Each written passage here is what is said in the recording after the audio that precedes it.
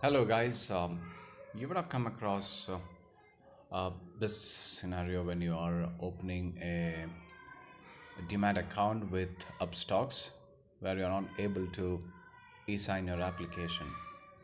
So, here is a quick fix for that. If you're using your mobile application and if you're pressing uh, e sign with Aadhaar OTP, the five dots keep on jumping it won't go to the next page. So this is something which is a problem where you know we have been trying uh, to fix this. We have uh, connected with the uh, customer care but um, they have just sent a link to uh, you know follow and uh, do it. But uh, even that link was not opening using the mobile. So it's it's a quick fix you know if you would have opened that probably would have uh, understood what to do or how to do it. But um, yeah here is a fix where you can try. You uh, you know this uh, jumping buttons will keep jumping for long. It won't even uh, fix. So you will keep waiting for 5 minutes 10 minutes right? So uh, now i'm just helping you to save that time.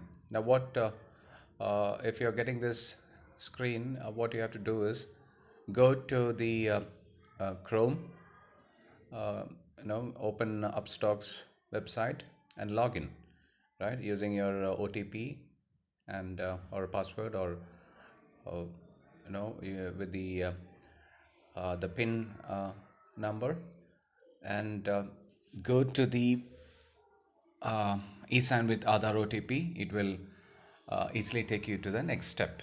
So that is the the, the best way to uh, you know overcome this scenario. Try it and um, uh, let us know in the comment.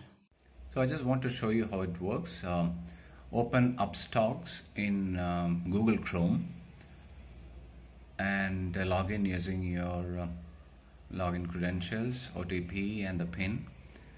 And after that, click on complete process here, the blue tab. Complete process again. Alright, it may say it may take a few minutes.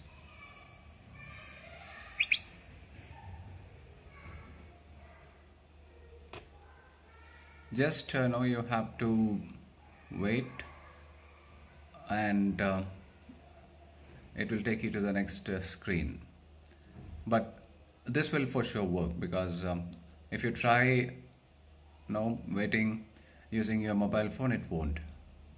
So this is just a matter of um, no 15 20 seconds.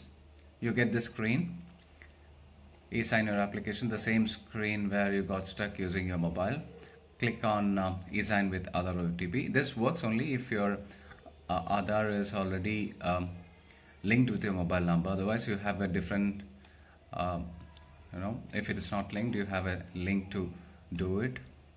So click on this e-sign with Aadhaar OTP so downloading.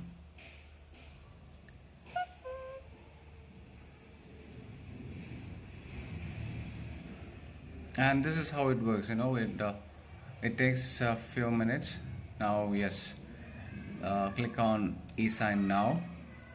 So it, it leads you to the the process. So you have to just click it proceed e-sign and sign now.